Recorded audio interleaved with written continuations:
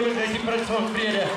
Ons Jesus is die een wat vir my en vir jou in die kruis gesterf het. En hy is die een wat vir ons 'n beter lewe gee. Hy is die een wat vir kinders hoop gee.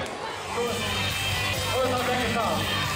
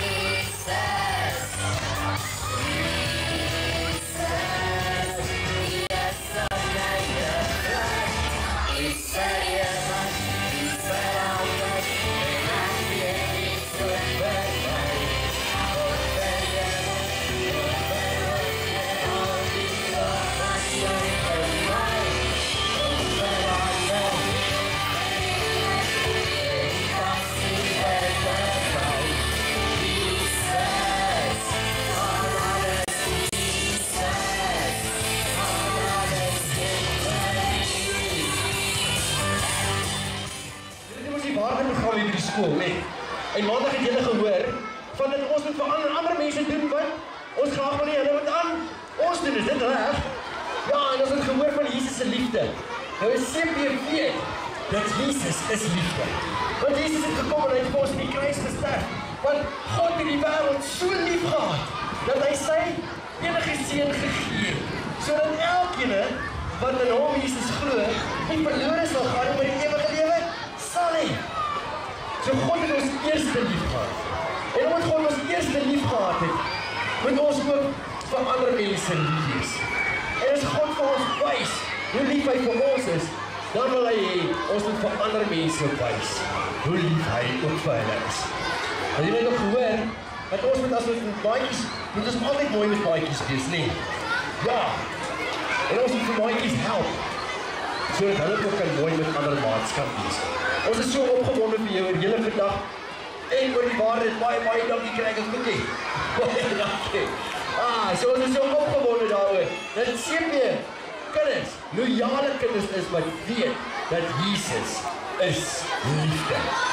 En Korintiërs 13 vertel vir ons daarvan dat ons is niks sonder liefde nie. En as ons lelik is En as ons lelik is met maatjies, is ons eintlik lelik met God. Het julle dit geweet? So ons moet nooit met maats lelik wees. God hou nie daarvan nie. Dit maak sy hart baie seer as ons lelik is met maats. So as julle net so kyk oor die veld, net oor die skoolvelde net. En julle sien die maats wat so lekker saam speel. Dan moet julle weet dat julle wat hier op die paviljoen sit en julle wat hier voor sit, God het julle gekies om met daardie maats ook te gesels en hulle te nooi om saam met ons hier op die paviljoen te wees. Sodat ons hulle nog meer van Jesus se liefde kan vertel. Maar vandag het ons nog meer lofprysing doen en ons eer vir Jesus want hy het vir ons 'n nuwe generasie gegee. 'n Generasie wat gaan opstaan, kinders van ons land wat gaan opstaan wat ander kinders se lewens gaan wil verander. Gaan jy Yeah.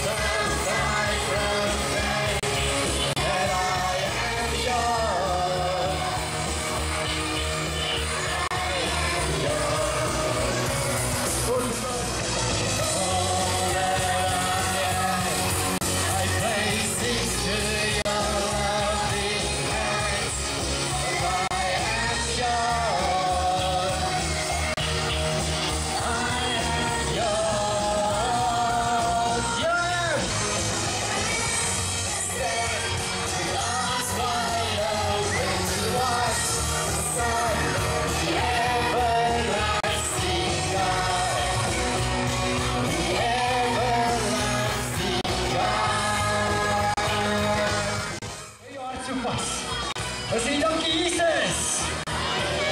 Dat ek nie kan behoor. Dat U my gekies het. Dat ek U kind kan wees. Ek wil U naam uitskree. Van die bergtoppe en van die takke van hierdie wêreld sodat die wêreld kan weet dat U Jesus Christus is.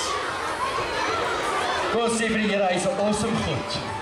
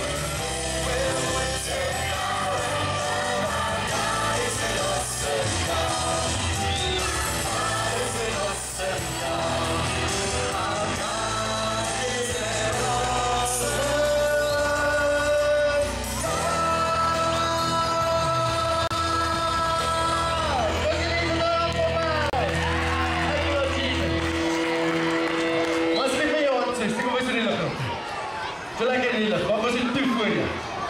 Dan wil jy dan gestaan met Here Jesus. Jy is 'n wonderlike God. Dankie vir die Heilige Gees. Wat binne in ons kan bly. Dat hy vir ons so lief is. Dat hy binne in ons kan bly. Dat ons dit elke dag kan voel. Dat ons kan weet dat U is my God. Dat jy nie voor my uitstap. Om ander mense te help. En dat jy my gaan gebruik. Om vir ander mense so lief te wees. Soos dat jy wil hê. Ek vir hulle moet lief wees. Ons loof U daarvoor. In die naam van Jesus.